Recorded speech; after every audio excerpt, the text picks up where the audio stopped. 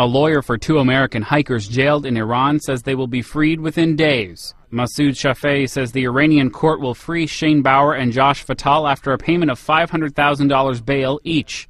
The bail amount is the same set last year for the release of Sarah Shourd.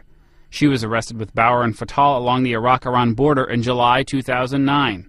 Bauer and Fattal were sentenced to eight years in prison for espionage. The lawyer confirmed the comments with the Swiss embassy, which deals with U.S. interests in Iran. Noel Waghorn, The Associated Press.